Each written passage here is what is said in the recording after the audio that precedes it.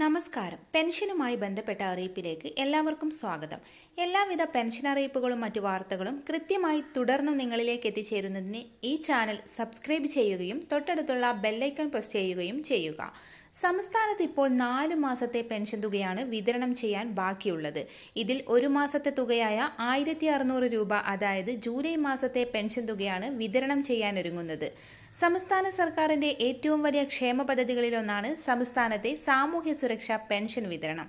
ക്ഷേമനിധി ബോർഡുകളിൽ നിന്നുൾപ്പെടെ പെൻഷൻ വാങ്ങുന്ന എല്ലാ ആളുകൾക്കുമായി സംസ്ഥാന സർക്കാർ ആയിരത്തി അറുന്നൂറ് രൂപ വീതമാണ് ഒരു മാസത്തെ പെൻഷനായി നൽകുന്നത്. സംസ്ഥാനത്ത് രണ്ട് രീതിയിലാണ് പെൻഷൻ വിതരണം നടക്കുന്നത്. ഒന്ന് ബാങ്ക് അക്കൗണ്ടുകളിലേക്ക് സംസ്ഥാന സർക്കാർ നേരിട്ട് തുക നിക്ഷേപിക്കുകയും ബാങ്കിലേക്ക് പോയി പെൻഷൻ തുക കൈപ്പറ്റാൻ കഴിയാത്ത ആളുകൾക്ക് അവരുടെ വീട്ടിലേക്ക് എത്തിച്ചു നൽകുന്ന ഒരു രീതിയുമാണുള്ളത്.